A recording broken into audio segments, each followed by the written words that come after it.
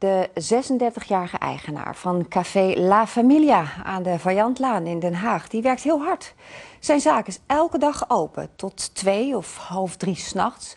En dan is het natuurlijk vreselijk als je zuurverdiende geld dan wordt meegenomen door een gewapende overvaller die na sluitingstijd in één keer plotseling in je café staat, hè Esther.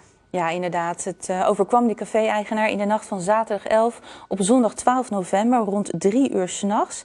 Nou, de zaak was toen gesloten, er waren geen klanten meer aanwezig en de eigenaar was nog uh, zelf bezig in de zaak met wat administratie.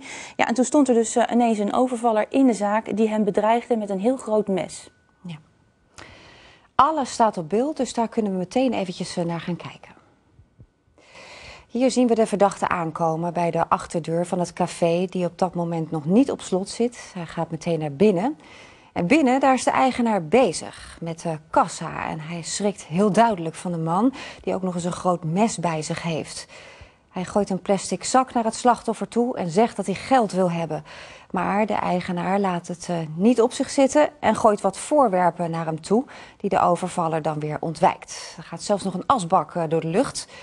Maar de dreiging die wordt echt te groot. En dan besluit de man om mee te werken en om geld uit de kassa in die tas te stoppen.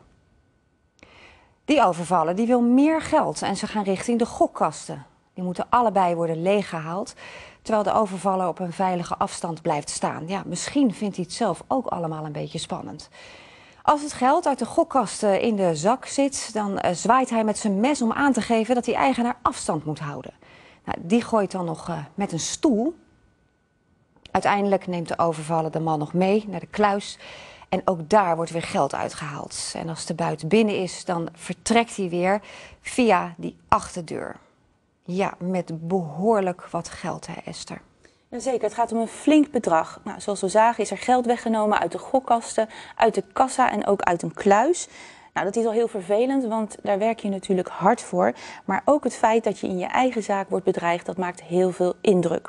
Nou, ondanks dat heeft de eigenaar, zoals we al zagen, geprobeerd die overvaller weg te jagen door het gooien van allerlei spullen naar hem. Maar dat is helaas niet gelukt. Nee. Laten we nog eens goed naar die verdachte kijken. Ja, we zien hem hier nog eens. En de beelden zijn niet zo duidelijk, maar het gaat om een licht getinte man van 20 tot 25 jaar oud. Hij is ongeveer 1,75 meter lang en heeft een mager postuur. En hij sprak Nederlands met een accent. Hij droeg zwarte kleding en een grijze sjaal droeg hij voor zijn gezicht. Ja, hoe is die man nou eigenlijk uh, bij die achterdeur van dat café gekomen? Ja, die deur die is uh, eigenlijk alleen te betreden via een binnenplaatsje. Nou, daar kun je via verschillende manieren komen, maar dat moet je wel weten. Dus mogelijk was die overvaller daarvan op de hoogte. Nou, mochten mensen daar meer over weten, dan horen we dat natuurlijk heel graag.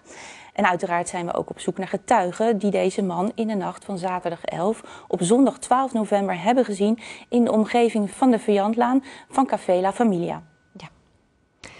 Kijk tot slot nog eens eh, goed naar de overvaller. Ja, wie is dit? Waar verblijft hij? Misschien herkent u hem wel aan zijn manier van doen. Of is u opgevallen dat iemand na 12 november ineens veel geld had uh, dat hij daarvoor nog niet had? Alle informatie is welkom via 0860 70 of via meldmisdaad anoniem op 0800 7000. En u kunt in deze zaak ook bellen met het team criminele inlichtingen en dat is 06 57 87 6279.